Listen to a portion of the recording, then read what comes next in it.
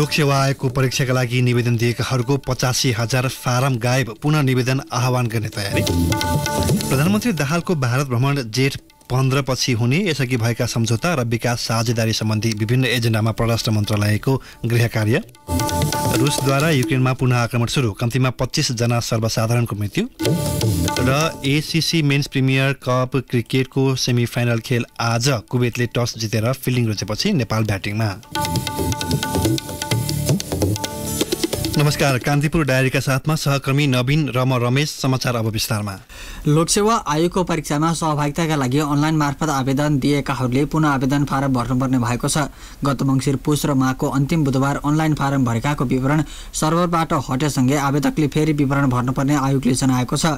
आयोगको वेबसाइटमा दर्ता भएका आवेदनहरू सिंहदरबार स्थित राष्ट्रिय सूचना प्रविधि केन्द्र माताहतको डाटा सेन्टरमा मात्र थियो। त्यो नै हराएपछि करिब पचास हजार आवेदकले पुनः विवरण भर्नुपर्ने आयोगका प्रवक्ता तोया नारायण सुवेदीले बताउनुभयो। यसै सन्दर्भमा हामीले सुवेदीलाई निवेदन भर्ने समयमा उमेरको हदम्याद पुगेकाहरूको हकमा के हुन्छ भनेर सोधेका छौँ। हो हामीले चाहिँ यो विज्ञापन आह्वान गर्दाकै बखत चाहिँ हामीले के भन्छौँ भन्दा हाम्रो सूचनामा चाहिँ दरखास्त दिने अन्तिम मितिसम्म चाहिँ उमेर पनि भएको शैक्षिक योग्यताहरू पनि प्राप्त गरेको अनुभव लगायतका सबै चाहिँ आवश्यक योग्यताहरू चाहिँ भएकोले मात्रै दरखास्त भर्न पाउने भनेर भने आउँछौँ अहिले हामीले गर्दाखेरि चाहिँ जुन जुन क्यान्डिडेट चाहिँ त्यति बेला उमेर थियो अहिले उमेर गयो ती क्यान्डिडेटहरूले चाहिँ त्यति बेलाकै शर्त अनुसार चाहिँ पाउने नै हुन्छ। खालि यो चाहिँ हामीले रिभाइभ मात्रै गर्न खोजे हौँ हाम्रो चाहिँ सिस्टममा डाटाहरू चाहिँ एकुमुलेट गर्न मात्रै खोजे हौँ। उहाँहरूले चाहिँ पहिल्यै भरेर चाहिँ अलरेडी उहाँहरूको रासो दस्तो चाहिँ भएको छ त्यसलाई चाहिँ हामी टाइप गरेर चाहिँ कट अफ डेट चाहिँ त्यो पहिल्यै दरखास्त गर्दाकै कट अफ डेटलाई चाहिँ कायम गरेर गर्ने भनेर भनेका छौँ। त्यो भने के हो भने उमेर पनि उहाँहरूको त्यति त्यो समयभित्र चाहिँ न्यूनतम उमेर पुरा भएको र अधिकतम नआएको हुनु पर्यो। शैक्षिक योग्यताका प्रमाणपत्रहरू पनि त्यति बेलाकै मितिमा चाहिँ हासिल गरे हुनु पर्यो। अहिले पछि हासिल गरेर भएन त्यो लगायतले हामीले सबै शर्तहरू चाहिँ पुरानै विज्ञापन गर्दाकै अवस्थाकालाई चाहिँ कायम गर्ने भनेर भनेका छौँ। कतिजनाको आवेदन परेको थियो त्यो समयमा? करिब करिब चाहिँ चौरासी पचासी हजारको आवेदन भएको थियो जस्तो लाग्छ। अब परीक्षा कहिलेदेखि सुरु गर्ने हो? असारको पहिलो हप्ता अथवा दोस्रो हप्तादेखि चाहिँ हामी सुरु गर्ने र मङ्सिरसम्म चाहिँ सक्ने गरी चाहिँ हामीले अलिकति व्यस्त कार्यतालिका बनाएर अगाडि बढ्नुपर्छ भन्ने हिसाबले हामी तयारी चाहिँ त्यसरी गरेका छौँ। आयोगले सर्भर डाउन भएर चाहिँ परीक्षा स्थगित भएको भनेर जुन यो अहिलेको घटना छ यो नौलो पनि होइन। जस्तै दुई हजार छहत्तर सालमा पनि यस्तै प्रकृतिको घटना भएको थियो सर्भर डाउन भएको थियो होइन? ब्याकअप नभएर फेरि आवेदन दिनुपर्ने अवस्था आएको थियो। पटक पटक यस्तो अवस्था दोहोऱ्याउँदै आएको छ। किन तपाईँहरू चाहिँ यो मामिलामा सिरियस हुनु पर्दैन अब पनि? होइन यो विषयमा हामी संवेदनशीलै हौँ।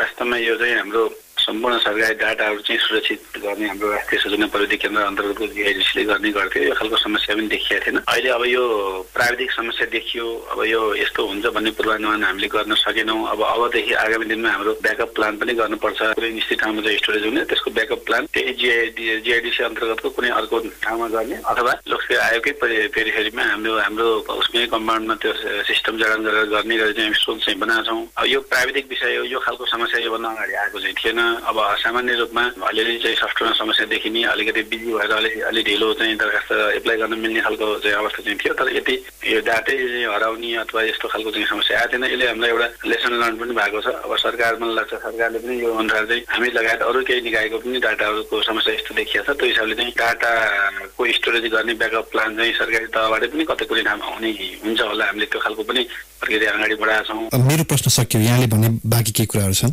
होइन अब यो वास्तवमा लोकसेवा आयोगले उम्मेद्वारको सहजताको लागि हामी अनलाइन सिस्टमबाट चाहिँ दरखास्त आह्वान गऱ्यौँ र यसले वास्तवमा उम्मेद्वारलाई सजिलो पनि भएको थियो किन भन्दा हामी उम्मेद्वारले दरखास्त विवरण भर्ने अनि पैसा तिर्ने प्रश्नपत्र प्रिन्ट गर्ने सबै कामहरू गरेर खालि परीक्षा दिने लिखित परीक्षा दिने क्रममा मात्रै लोकसेवा आयोगको पेरिफेरीमा भौतिक रूपमा उपस्थित हुनुपर्ने र पछि अन्तिम चरणको परीक्षा मात्रै हुने हुन्थ्यो। यो वास्तवमा यो प्रविधिले हामीलाई धेरै सजिलो पनि गराएको थियो। तर यो टेक्निकल्ली अलिकति यो एक खालको दुर्घटना जस्तो पनि भयो। वास्तवमा हामी सुरक्षाको सम्पूर्ण उपायहरू अप्नाउन सकेनौँ। यसले गर्दा अलिकति उम्मेद्वारलाई पनि असुविधा पनि हुने भयो हाम्रो परीक्षा कार्यक्रमहरू प्रभावित हुने भयो। यो प्राविधिक त्रुटि हो यसले हामीलाई केही लर्न पनि गरेका छ हामीले अब आगामी दिनमा यो ब्याकअप प्लानको र सिस्टम राम्रोसँग चाहिँ जडान गरेर काम गर्ने गरी चाहिँ हामी काम गर्छौँ।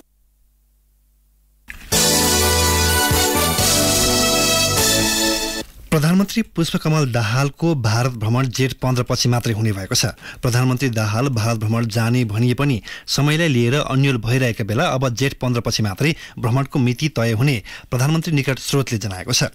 जेठ पन्ध्रमा मुलुकमा बजेट आएपछि मात्रै प्रधानमन्त्रीले दिल्लीको भ्रमण गर्नुहुने बालुवाटार स्रोतले जनाएको छ। भारत भ्रमणका विषयमा प्रधानमन्त्री दाहाल र परराष्ट्र मन्त्री एनपी साउद बीच सिंहदरबारमा हिजो छलफल भएको थियो। यसअघि वैशाख तेस्रो साता हुने भनिएको भ्रमण भारतीय प्रधानमन्त्रीको व्यस्तताका कारण जेठ पन्ध्रपछि धकिलिएको हो।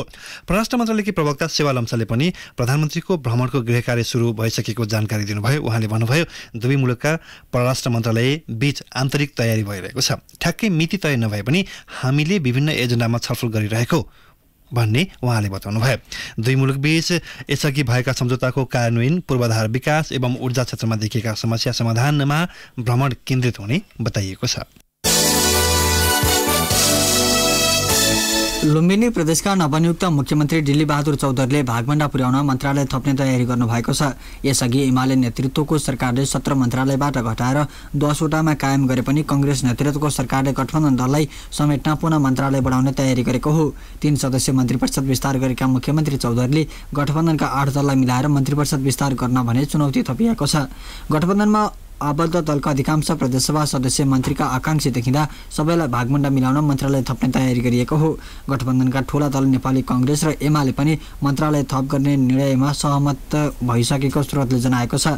आर्थिक सङ्कट बढिरहेका बेला मन्त्रालय बढाएर आर्थिक भार थप्ने निर्णयले चौधरीलाई सुरुवातमै विवाद र आलोचनाको घेरामा पार्ने सम्भावना पनि बढेको छ। हिजो मुख्यमन्त्री चौधरीसहित मन्त्रीहरू माओवादी केन्द्रका धनबहादुर मास्की लोकतान्त्रिक समाजवादी पार्टी लोकसभाका सन्तोष कुमार पाण्डे र नागरिक उन्मुक्ति पार्टीका धर्मबहादुर चौधरीले शपथ ग्रहण गरेका थिए। तीनजना मन्त्री नियुक्त गरिए पनि मन्त्रालय भने टुङ्गो लागेको छैन। मुख्यमन्त्री चौधरीलाई समर्थन गरेका जसपा र जनमत पार्टीलाई मन्त्रीमण्डलमा सहभागी गराउने तयारी गरिएको छ। जनमोर्चाले सरकारमा सहभागी नहुने जनाएको छ।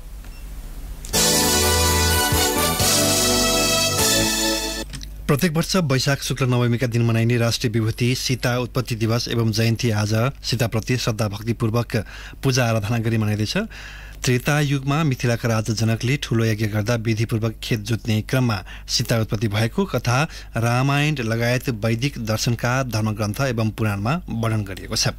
भगवान विष्णुको छैटौँ अवतारका रूपमा अयोध्याका राजा दशरथका पुत्रका रूपमा श्रीरामको जन्म हुने भएपछि लक्ष्मी सीताका रूपमा उत्पत्ति हुनुभएको वर्णन विभिन्न ग्रन्थमा गरिएको धर्मशास्त्रविद एवं नेपाल पञ्चाङ्ग निर्णायक समितिका सदस्य प्राध्यापक डाक्टर देवमणि भट्टराईले जानकारी दिनुभयो। सीतालाई सत्यवती प्रतिव्रता एवं आदर्श नारीका रूपमा सम्मान गरिन्छ। अयोध्याका राजा दशरथका छोरा राजकुमार रामसँग विवाह भएको थियो। प्रीति आज्ञा पालना गर्न राम वनवास जाँदा सँगै जानुभएकी सीताले रावणबाट हरण हुँदा पनि प्रति व्रता धर्म नत्यागेको कथा पुराणमा उल्लेख छ। कान्तिपुर डायरीमा अब ब्रेकको पालो। ब्रेकपछि कान्तिपुर डायरीमा अब अन्तर्राष्ट्रिय प्रसङ्ग रुसले युक्रेनका विभिन्न सहरमा प्रहार गरेको क्षेपास्त्रका कारण पच्चिसजना नागरिकको मृत्यु भएको छ। युक्रेनको दिनिप्रो र उमान सहरमा रुसले क्षेपास्त्र प्रहार गरेको हो। युक्रेनले रुसको कब्जाबाट फिर्ता लिएको भूभागमा रुसले आक्रमण गरेको युक्रेनले जनाएको छ। सो क्षेत्रमा झण्डै दुई महिनापछि ठूलो मात्रामा हवाई आक्रमण भएको अल जजिराले जनाएको छ। उमान सहरको आवश्यक क्षेत्रमा रुसी आक्रमण हुँदा सो क्षेत्रमा भागदौड मचिनुका साथै सबहरू आगोको मुस्लोसँगै छरिएका थिए। आक्रमणको अवस्था हेर्दा रुसले युक्रेनको जुनसुकै भूभागमा हमला गर्न तयारीमा देखिएको अल जजिराले जनाएको छ। अब खेल प्रसङ्ग काठमाडौँमा जारी एसिसी मेन्स प्रिमियर कप क्रिकेटको सेमी फाइनलमा नेपाल र कुवेत बीचको खेल वर्षाका कारण प्रभावित भएको छ। किर्तिपुर स्थित त्रिवी क्रिकेट मैदानमा टस हारेर पहिले ब्याटिङ गरिरहेको नेपालले तेइस ओभर दुई बलमा एक सय एकचालिस रन बनाउँदा वर्षाले खेल रोकिएको थियो। वर्षा रोकिएकाले म्याच सुरु गर्ने तयारी भए पनि पुनः वर्षा हुन थालेपछि अवरुद्ध भएको छ। ओपनर कुशल भोर्तेलले त्रिचालिस रन बनाएर क्याच आउट भए उनले सात चौका र एक छक्का प्रहार गरे। अर्का ओपनर आसिफ शेखले एकतिस रन बनाए। अठाइस बलको सामना गरेका उनले एक चौका र तिन छक्का प्रहार गरेका थिए। भीमसार्की एक रन बनाएर सस्तेमा आउट भए नेपालले आजको खेलमा एक परिवर्तन गरेको छ। गुलसन झाको स्थानमा करण केसीलाई राखिएको छ। नेपाल समूह ए को विजेता र कुवेद समूह बी को उपविजेता भन्दै प्रतियोगिताको अन्तिम चारमा पुगेको हो। यसैबीच मुलपानी मैदानमा अहिले अर्को सेमी फाइनलमा र ओमानबीच प्रतिस्पर्धा भइरहेको छ। शहीद स्मारक ए डिभिजन लिग फुटबलमा आज तेह्रौँ चरणका अन्तिम खेलहरू हुँदैछन्। ललितपुर स्थित च्यासल मैदानमा दिउँसो तिन बजे हुने खेलमा शीर्ष स्थानको जावडाखेल युथ क्लब र सङ्कटा क्लब बीच प्रतिस्पर्धा हुनेछ।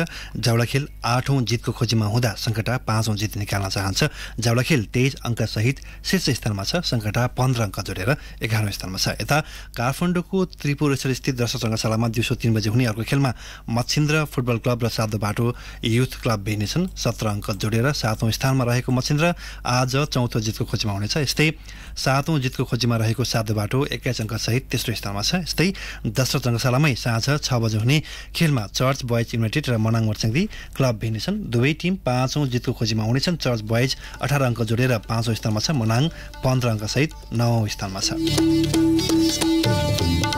जाँदा जाँदै यस बुलेटिनका प्रमुख प्रसङ्गहरू पुनः एकपटक लोकसेवा आयोगको परीक्षाका लागि निवेदन दिएकाहरूको पचासी हजार फारम गायब पुनः निवेदन आह्वान गर्ने तयारी। प्रधानमन्त्री दाहालको भारत भ्रमण जेठ पन्ध्रपछि हुने यसअघि भएका सम्झौता र विकास साझेदारी सम्बन्धी विभिन्न एजेन्डामा परराष्ट्र मन्त्रालयको गृह कार्य। रुसद्वारा युक्रेनमा पुनः आक्रमण सुरु कम्तीमा पच्चिसजना सर्वसाधारणको मृत्यु र एसिसी मेन्स प्रिमियर कप क्रिकेटको सेमिफाइनल खेल आज कुवेतले टस जितेर फिलिङ रोजेपछि नेपाल ब्याटिङमा। हवस् त यिनै प्रसङ्ग सहित मध्याह बाह्र बजेको कान्तिपुर डायरी अहिले यहीँ सकिन्छ। हाम्रो अर्को बुलेटिन एक बजे डिस्ट्रिक्ट डायरी हुनेछ। अहिलेलाई सहकर्मी नवीन र म रमेश। बिदा हुन्छौँ। नमस्कार।